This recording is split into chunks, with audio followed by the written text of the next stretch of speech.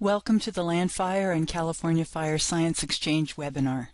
I'm Jeannie Patton, Communications Lead for the Nature Conservancy's Landfire program. This is one of a series of webinars offered in partnership with the Fire Science Exchange Network that look at Landfire's Biophysical Settings Review project.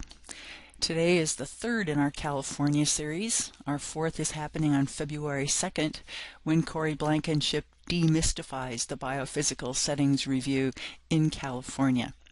Other regional presentations are also scheduled through the spring and now in the fall. The webinars are recorded and posted on both the California Fire Science and Landfire YouTube channels. Landfire publicize webinars and other news via the bi-monthly bulletin, so if you do not subscribe yet, please do. The link to subscribe is on the last slide of this presentation.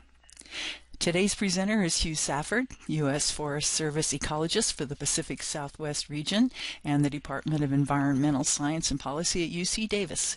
He will lead you through the highlights of his work regarding management applications of landfire BPS models in California. Yeah, I was asked to talk a little bit about how we've used the BPS models and models that were developed uh, based on the BPS model for uh, management applications in California, and I'm going to be talking primarily about some work that we've done in the Sierra Nevada. Um, and um, what I'm going to do, I'm going to talk about management uses of state and transition models and not just uh, about uh, the BPS system, although that'll be sort of the focus. And uh, BPS stands for biophysical settings, and these were state and transition models that were developed for all of the different ecosystems that Landfire mapped in the early and mid-2000s. Um, you can find information on these on uh, the Landfire website, and I think that information is on the last slide. I know that there's actually a current review process going on for these models. It's actually a pretty important process, and I hope that some of you can get involved. But I'm going to provide some background on uh, just the development process, and I'm going to talk briefly about some of the limitations and assumptions uh, in the BPS models. And then hopefully the bulk of the presentation will involve some of the ways that we've used these models in management applications. So let's just start with some nuts and bolts stuff. So state transition models are often called box and arrow diagrams. And so they represent ecosystem dynamics using boxes to represent sort of discrete ecosystem states. We might call them successional stages or seral stages, kind of things generally that you can actually recognize, and it's real useful if they're things you can recognize on the ground, so you can actually tie this work to mapping or to spatial modeling. And then linking the boxes are arrows that represent transitions among those states, and those those uh, transitions can be a variety of things. They can simply be successional patterns that are based on growth. Uh, they can be uh, they can represent even the competitive outcomes. They can represent things like disturbance. Um, these models are based on sort of the non-equilibrium ecological uh, paradigm, if you will. In other words, uh, although there is, you, you can model into these things the effects of competition and other stuff, the models really are driven by allochthonous or external disturbances. And hence, they tend not to, they don't follow this model of sort of biotic interactions leading an ecosystem over time through discrete you know, successional stages where you get to some equilibrium long term. And one of the coolest things about these models is that you can incorporate a bunch of different successional pathways, lots of different states. Um, you can throw in threshold effects. There were all sorts of different kinds of reversible and irreversible transitions. And if you can do a good job of of, of modeling or, or, or, or generating a, a, a, reasonable framework for the ecosystem you're modeling, there's a lot of unexpected outcomes that you can actually see within the models um, and the products that come out.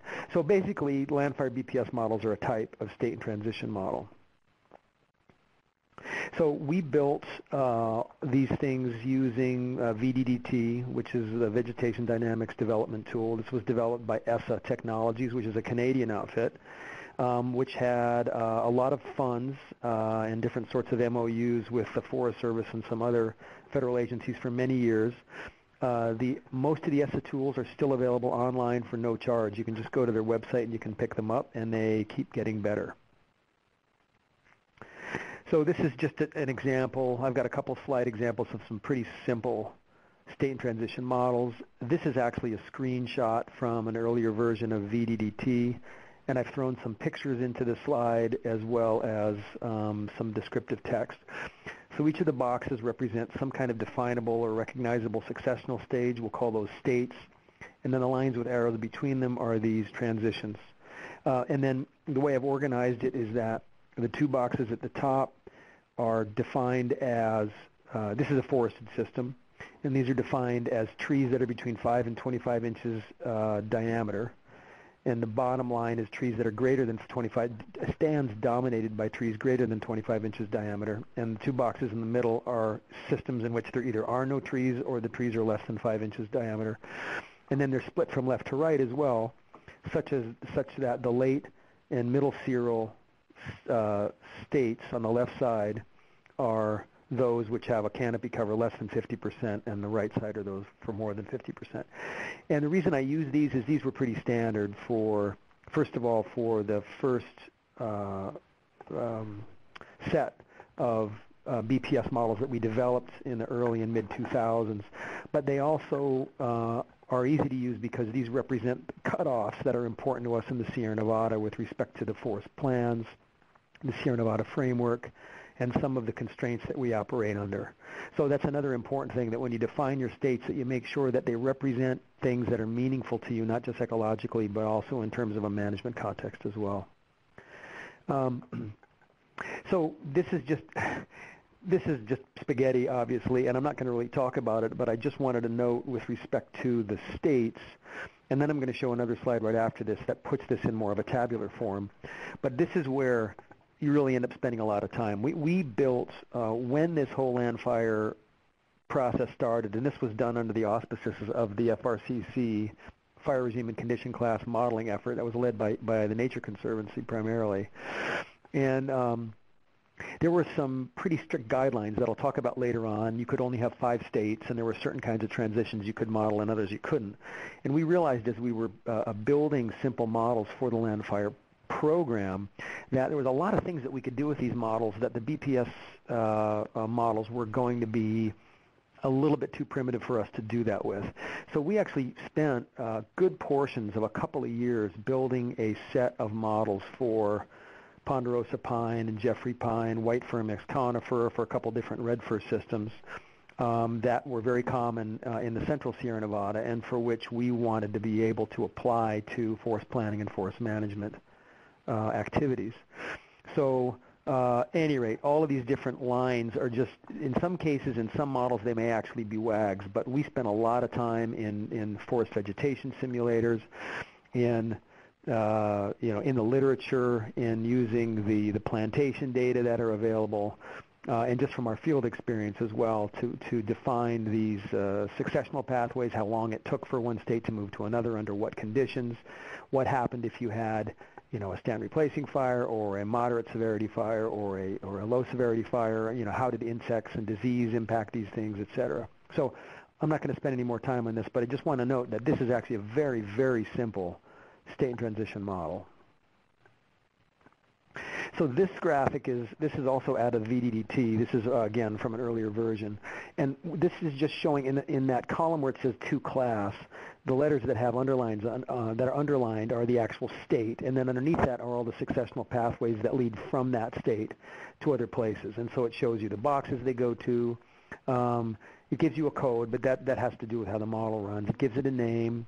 For example, state A succeeds to state B if nothing else happens. If you go across that line, you'll see that that'll happen after 54 years uh, on average. And then below that, you can have stand replacement fire, you can have mixed severity fire, you can have competition effects, and you can have what's called an alternate succession. And then to the right are some rule sets with respect to what the minimum age is before something like that can happen, what the maximum age is, what happens to the age of the stand if something like that happens. So for example, if you've got a stand that's going to succeed in an average of 54, 55 years to some other state, succeed, succeed to another state, you can actually uh, probabilistically force that, sta- that state to remain uh, in that state rather than succeeding through this competition thing. And in, in, this case, this is A is a chaparral stand in which conifers are essentially trying to break through it. And you can probabilistically force a state to remain in that. And uh, we know that 55 was an average. There are certainly stands out there where it can be more like 60, 70, or 80 years before you'll see a forest develop. Um, and then on the right-hand column, you'll see this thing called TSD, and that's time since disturbance. And what that allows you to do is to force a system to wait a little bit before it can have another disturbance. So, for example, if you have a, a low severity fire in a system, it's going to reduce fuel such that it would be unlikely that you would get another fire of that kind through the system uh, for, in this case, generally about 10 years. And those are what the data are, sh- are showing us in, in uh, most of the mixed conifer kinds of forests. And so you can force the model to do that. At any rate, that's just an example of some of the things you can you can uh, engineer into the model. And, and uh, I had a couple of slides that I just actually took out uh, yesterday that talk about some of the bells and whistles you can add, and I may talk about those at the end. So basically, in terms of outputs, probably the most commonly used output is this simple summary of successional states over time. Uh, I forget anymore exactly what the standards were for the development of the BPS models, whether it was a 500-year simulation or a 1,000-year simulation, but we would run these a whole lot of times, and then we would get mean outcomes. And uh, once the models were stable, once we'd had them reviewed, once we'd done some validation, and I'll talk a little bit about validation here in a minute, then these outcomes, in this case time step 1000, that has five, they're calling them classes, but those are the states. This is giving you a hypothesis as to what proportion of a given landscape would have been occupied by these, these different states. And then that provided Landfire the ability to compare current status of landscapes versus this sort of predicted pre-settlement outcome because these models were built under the assumption under the assumptions that you were working in a in a in a landscape dominated by pre-Euro-American settlement dynamics. So another output that's been very very useful to people is, uh, uh, is the fire return interval output and also the vari variability therein. Um, the values actually come out as fire frequencies, and so to uh, you have to divide them um, by 100 in order to turn them into fire return intervals. But basically, uh, this particular model had an average fire return interval for this run of 9.5 years. And the, the uh, variability you can see in that little yellow box on the top left uh, of the diagram was between, uh, let's see here, yeah, between 7.3 and 14.9 years, and that, that's uh, plus or minus a couple of standard deviations. So at any rate, that's for a particular model. And then uh, you can also look at the uh, post-fire landscape. It can give you ideas as to how much of the landscape burned at different levels of fire severity. And so in this case, I've, I've thrown on this graphic uh, more or less an elevational gradient from Jeffrey Pine through a couple different kinds of mixed conifer up into the red fir belt. Um, and you can see again, there's, these are hypothetical distributions of proportional area of fires burning at low, moderate, and high severity fire. And then if, you're, if you include other disturbances, you can also look at these things. And for example, here we did incorporate some uh, information on insect and disease mortality. This was out of the Region 5 uh, data sets that have become, that have gotten so much press recently now uh, with all the mortality that we're seeing in the forest. Um, but what we found uh, from information that was summarized for us by the Forest Service uh, uh, pathologists and entomologists was that somewhere between about what was it, 0.4 and 1.2 percent mortality annually was sort of a, standard background rate, and so this model ends up right in there. And then there's about a 20 time um, a uh, the variability is about 20 times that across this uh, the 500-year time span. Now I want to note that the models that I'm actually presenting here have climate variability in them. We built uh, climate streams based on the variability in the Palmer Drought Severity Index. Um, and that kind of variability actually was, is not built into the BPS model. So I want to note that the stuff you're seeing here has somewhat more variability than you would see in a typical BPS output. And then I don't think I'll spend any time on this, but this is just a tabular output of the kind of things that you can get out of them. Uh, you can see what, uh, for each of the, the seral stages or the states across the top, you can go down that. You can see the definitions. You can see the age uh, brackets, what the inferred dominants are, what the canopy cover is, uh, what the average size classes are, and then you can look at the probabilities for fire, how those translate into fire return intervals, and you can see that for each of the states for each of the kinds of disturbance. Uh, and then you can, on the right-hand column, you can see you can generate, like for this model, 90% of all fire models was low severity, 7% mixed or moderate, and 3% was high. And then in the lower um, row, you can see the outcomes after uh, however many uh, 500 or 1,000 year intervals, and you can see that those different states had very different proportions on your average finishing landscape. And then finally, I'll just note that in column two, there's a thing called the drought multiplier, and that is not in the BPS models. And again, those are multipliers that we um, developed based on information we had on the relationship between drought and insect outbreaks in California. Okay, so then the last thing I'll cover before I get into the, the actual um, actual uh, outputs is, I mean, uh, applications rather, is just some of the model validation that we did. So we started building these models, uh, I think it was probably 2002, 2003, um, and uh, spent a lot of time on the five models that I talked to you about in validating them. Um, a lot of the BPS models had to be developed uh, under relatively quick timelines, and I will say that that's one of the things I'll talk about under limitations and assumptions is you really need to know the model, you need to contact the people who developed it, and you need to understand the extent to which the models were, were validated because for certain vegetation types it was very difficult to validate them or to, to assess the accuracy. But in these five models, we spent a lot of time, uh, we spent years building them and then spent a lot of time validating them. And I'm just going to show you some examples. So this is uh, uh, for the models that we developed. Again, I think these are not uh, the BPS models themselves, but rather their progenitors, the, the six box and somewhat more complicated models that we built and then based the BPS models on. But you can see that the blue bars are the modeled fire return interval within the models and the uh, cream-colored bars are from a paper I published with Kip Van de Water in 2011. Uh, in other words, well after we had built the models that summarized all of the fire scar and other data available in the state on the on the most likely pre-settlement fire return intervals for these types. And you can see that the model is very, very close. Uh, and then here is some validation for fire severity. And in this case, I'm using uh, for the Jeffrey Pine. What you've got is three areas. One is Jeffrey Pine model, and then uh, the actual current Jeffrey Pine fire severity spectrum from the Sierra de San Pedro Martir in northern Baja California, which was not logged and has only been getting fire suppression for the last few decades. Next to it is a mixed conifer model, and the same forest types from the Sierra de San Pedro Martir, and then on the right is the, our red fir, a, a, composite of our two red fir models compared to information you can get from Leiberg's 1902 summary of fire severity patterns in the higher elevation forests in the northern Sierra Nevada. And again, you can see that the models really are, are quite close. And then finally, you can also look at things like structure. And so, well, you know, in, this is for the Lake Tahoe Basin because we use these models a lot in the Lake Tahoe Basin Forest Plan.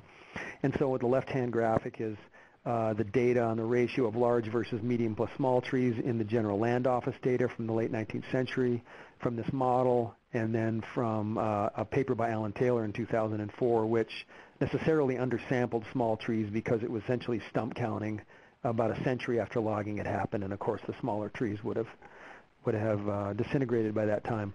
And then you can look at to the right is the percent of the landscape dominated by different size classes. You know, at any rate. So this is just classic model building. You know, we're we're we're basically iteratively assessing accuracy and validation, and then trying to change the internal model characteristics um, you to better reproduce uh, the dynamics that we see in the reference information.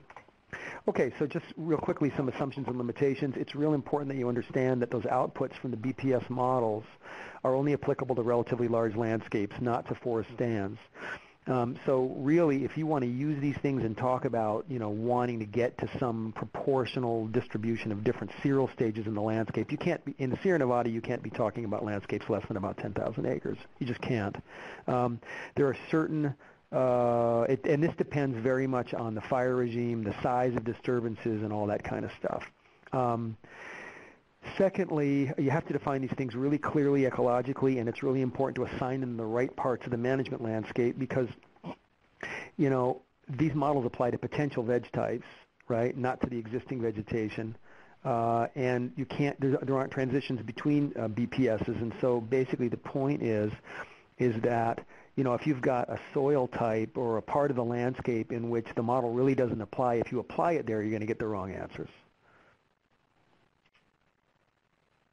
Another thing that to think about is, you know, we're talking about state and transition models, so they're not spatially explicit, right? So they do not uh, deal very well. Well, that's not the right way to put it. They can't deal directly or explicitly with landscape dynamics, right? And as a result, the variability in the model runs can often be very low unless you incorporate drought multipliers, landscape multipliers, uh, things like time since disturbance and climate streams, which you couldn't actually do in the BPS models because of the limitations of the much larger model they plugged all those BPS models into uh, to get the landfire outputs.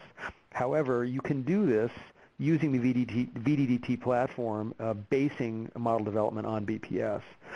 Um, so let's see here. And then, uh, and then BPS models are really quite simple. I mean, you know, you look at a five-box model with a whole lot of arrows and you think that's complicated, but really they're not. And the BPS modeling forced us to limit very much the number of states and the type of transitions.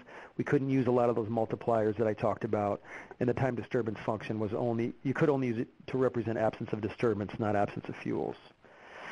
And then finally, uh, as I noted before, this is, these are potential types and they represent pre-Euro-American settlement reference conditions. And so it can be pretty hard to actually validate the outcomes. And so that's why we spent so much time over that two-year period combing the literature, using information from contemporary reference uh, landscapes to validate that stuff.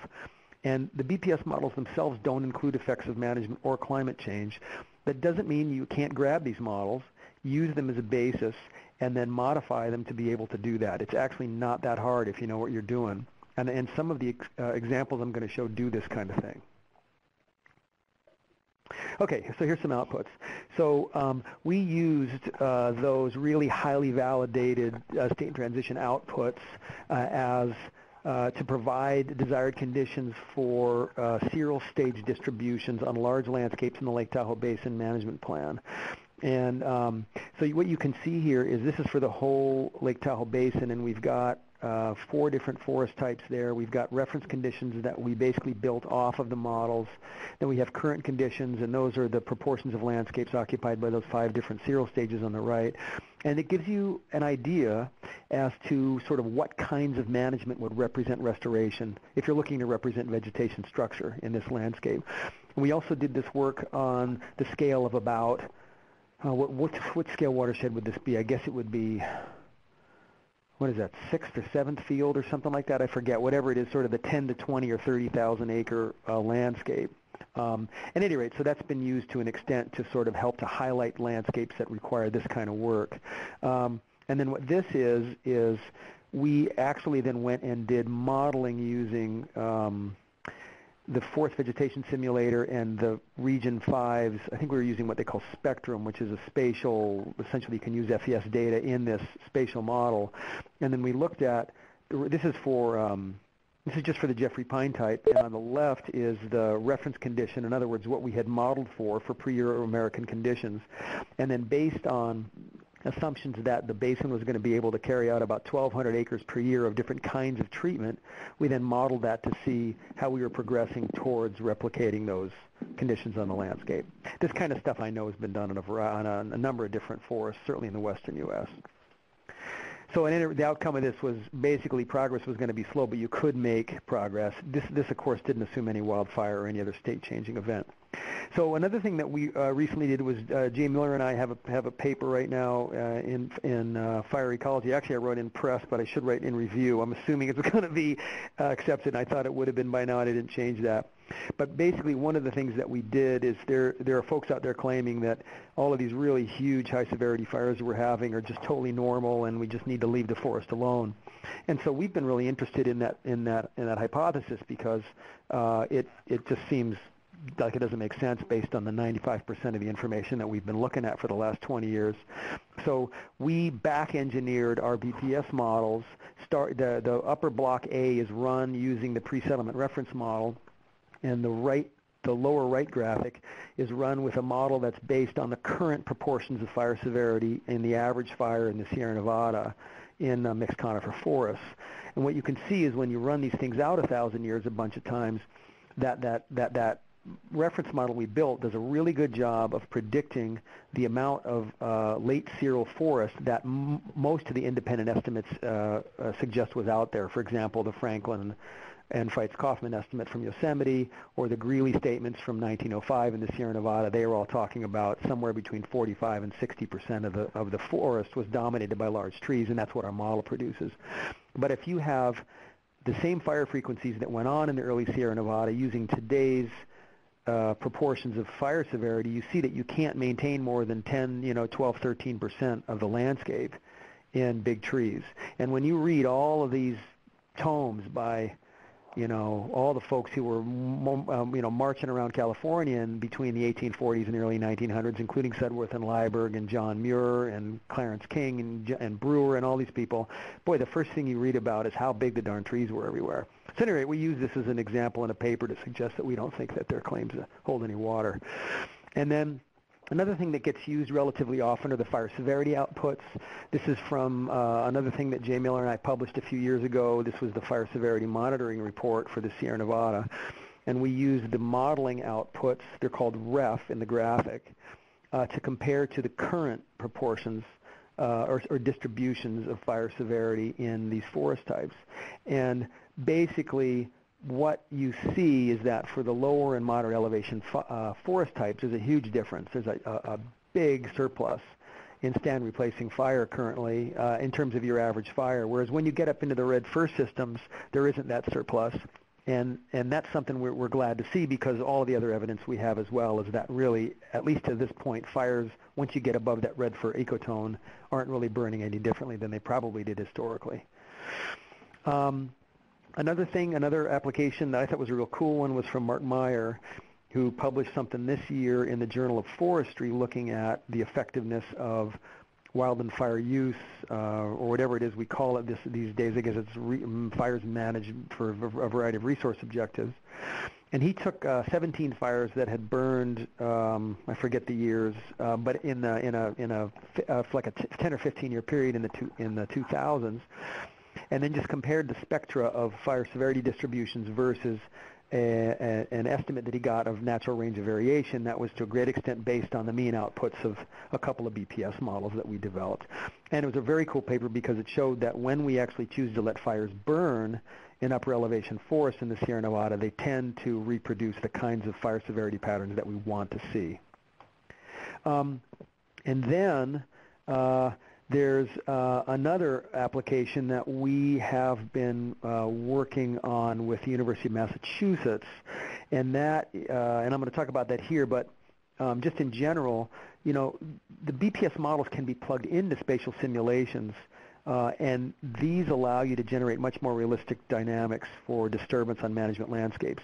They also require that you know a whole lot more about your system, and they require that you be able to find a lot of spatial information that you don't need to actually just build the state and transition model. So, I mean, this work that we're doing on the Tahoe National Forest, just getting the models up and running took us nearly two years. Uh, and that's often not the kind of time that people have got uh, in management agencies. So this may be best done by people who've got some research time and some money. But uh, on this graphic, I've just got some examples here of models that can take state transition models and then apply them uh, on spatial landscapes. Uh, TELSA from ESSA. There's LANDSUM from Bob Keane's lab. FireBGC, which was also from Keane's lab and, and working with some other folks. And then the Rocky Mountain Landscape Simulator, RM Lands, from Kevin McGarigal at University of Massachusetts. So then referring to that last one, we uh, used RM lands, which was developed for actually for planning purposes in the Rocky Mountains, uh, to model uh, historic range of variation conditions in a in a, a, sort of the northern half of the Tahoe National Forest, and then to uh, engineer management effects into the model so that we could see to what extent current proposals for restoration uh, could come close to uh, replicating the kinds of conditions in the landscape that we think uh, will be resilient to climate change. So the BPS models themselves provided the guts of the landscape model. Uh, we did make uh, modifications, right? We took some more recent reference information. Uh, we did change some of the transition probabilities based on that. Instead of having uh, two canopy cover levels, if you remember the model I showed you before, I think they were you know, before 40, uh, above 40% and below or something like that. We had canopy cover levels increased to three levels because the forest wanted to know the difference between sort of low, moderate, and high canopy cover. We split some of the models into uh, xeric and mesic versions, i.e. north slope, south slope. We did a lot of model validation and calibration uh, on these things. Again, this, this process took a couple of years just to get the model to where we're, we're actually running it now and we allowed some transitions between models. In other words, that's one of the cool things you can do in a spatial model is you can plug in one of these state transition models and then you can say, all right, if you have this effect, or if the climate warms this much, then this is going to transition into a totally different model because the dynamics are going to change. Or if you have an invasive species kind of come in and force it over a threshold. And those are the kind of things that you can actually link.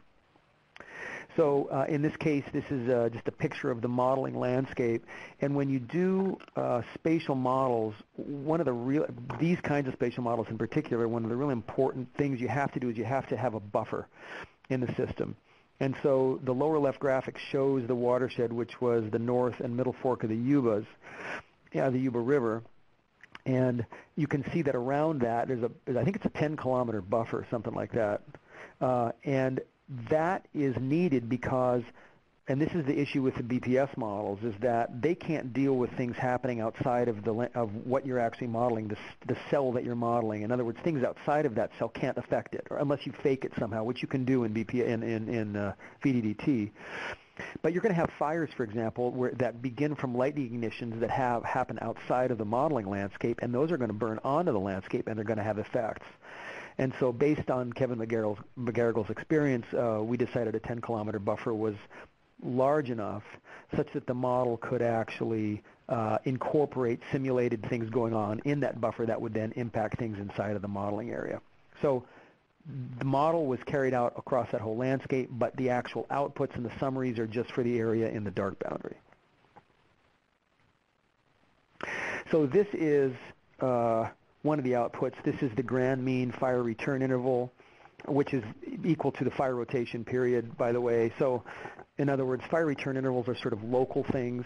You know, how many times has this tree burned over some period of time? And um, or how many years between the average, you know, fire for this for for a tree or a stand of trees. Whereas fire rotation period is a measure of a landscape measure of fire frequency. Uh, how many years does it take for fires to to, to burn that whole landscape. Um, so when you see return interval in these graphics, they're referring here to fire rotation. And you can see that there was some very, very high fire frequencies in this landscape. And what you have to remember about most of the western U.S. is most of it hasn't seen a fire in 100 years. In fact, uh, Zach Steel and I did a uh, paper just the other day, yes, earlier this year, last year rather, um, where we found that about 75% of the mixed conifer in the uh, Sierra Nevada had not seen a single fire in over 100 years, which means they'd missed, if you're talking about fire return interval, of about 10 fires. Okay. Okay, so here is another example of, of how, when you do spatial modeling with these things, how your variability goes way up. And this is because of the impacts of things happening on cells outside of your modeling region. So uh, in, in the area that we modeled, we found that about 3.3% of the landscape experienced fire in an average year. As you can see, there were very few average years. Some years you had, you know, hundreds of thousands of, of acres burning. Other years you had very little. And those were tied to wet and dry cycles as well. Uh, okay, here we go. Yeah, yeah. So basically, the average uh, landscape was seeing you know, the, the landscape was seeing about 15,000 acres on average of fire, whereas currently it's more it's only about one to 2,000 acres if you include treatment and fire. Uh, again, this is just what this is. Is this is a, a sort of a, a within the Mixed conifer model that we built. These are the six different seral stages, or seven, one, two, three, or seven that we modeled, and you can see the variability that goes on in terms of the proportion of the overall landscape occupied by those. So this is kind of cool. You, it's definitely a really cool extension of the of the state transition models. And then what you can do with these models, and you can to an extent with the BPSs as well, like I showed in my first set of slides, is you can actually talk about you know, what was uh, the likely range of variation in this landscape before Euro-American settlement? Where are we right now? What can we do about it? And so to the right of that gray box, you can see that for late close, late moderate, and late open, we've got a range of variation. And then the yellow bar represents the current proportion of the landscape in those uh, in those seral stages. And so there are some management recommendations in that box. Uh, and then so what we did was we took uh, treatment scenarios, a variety of different treatment scenarios from the district, um, uh, and we applied those actually. And then this is this again took boy, this was probably close to a year for the UMass people and for us to actually build the management uh, actions into the models. But we did that, and then we've actually run some uh, some uh, outcomes from that. And what you can see is the HRV scenario for this particular model is the blue, and you can see that after, I forget what it is, like 20 or 30 years of management, you can see that uh, the current landscape is very, very different, even though we are sort of, uh, in this particular case, operating at what we thought was a, a very a fast pace and a much larger scale than what they're currently doing. This isn't to cast aspersions on that district at all. This was just a scenario uh, and this is nice because then we can run other scenarios to see you know, what we can actually do uh, to try to restore stands to a more, or forests to a more resilient condition. Note that this outcome didn't include uh, wildfire. So at any rate, in terms of conclusions, state and transition models are really, really useful tools. There's great literature out there on them. Uh, they, they provide they, they, they, provide you much better understanding of the way succession and disturbance dynamics works in ecosystems.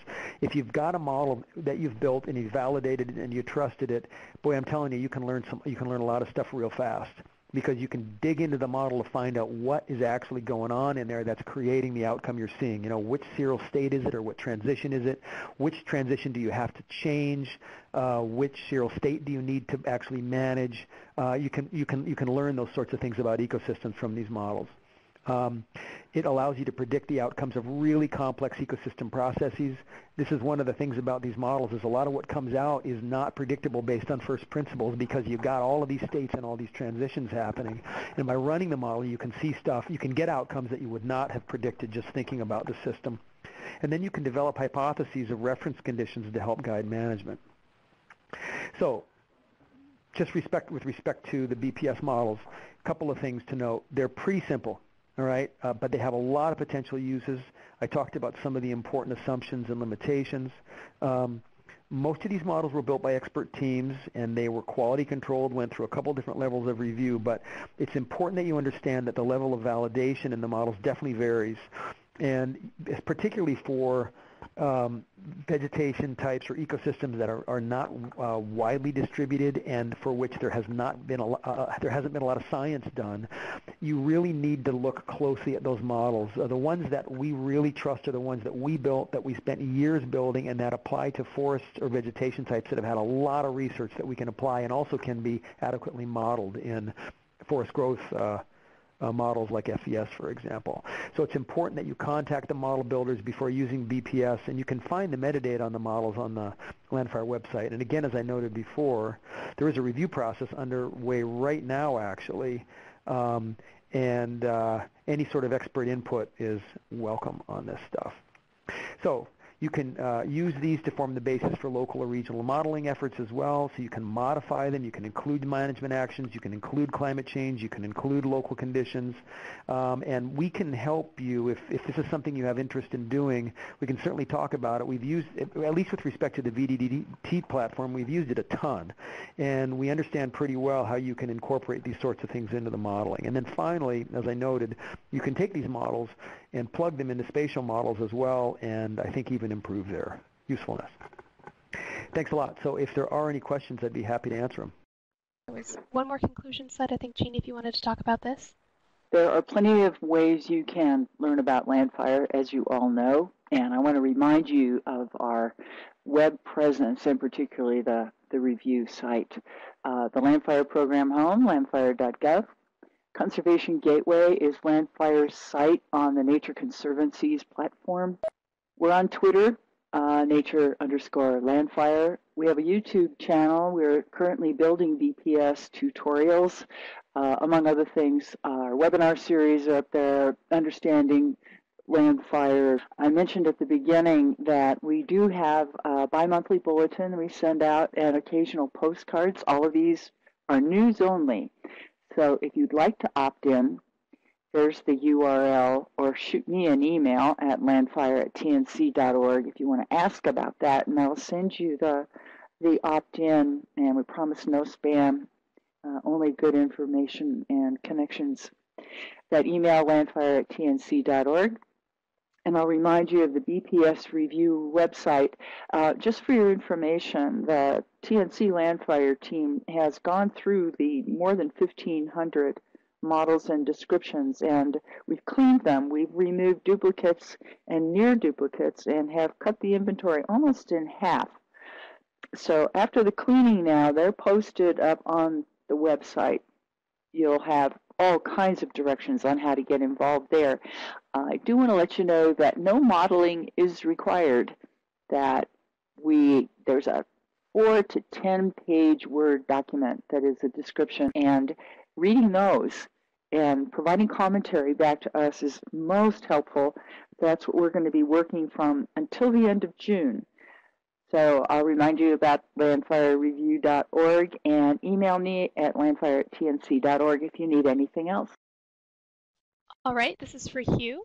Uh, Colin is wondering why you've chosen VDDT rather than the more recent STSIM software. Yeah, I mean, there's there's always new software coming out, right? And and VDDT is what we were used to, and remember that we built these models in uh, I think between about 2003 and 2005 originally, and then have recently changed them a little bit. Um, I'm actually not familiar with the software you're talking about, but they, you know, it may be that it provides some functionality that that VDDT didn't. We were very happy with it. There was a lot of stuff that went on there, and since the Forest Service was funding it, uh, it kept getting updates based on our inputs, which was really really cool. But that's really the only way I can answer that. And I, I just know that we got used to the VDDT platform. It was very easy to use, and they provided really, really great uh, support for the modeling.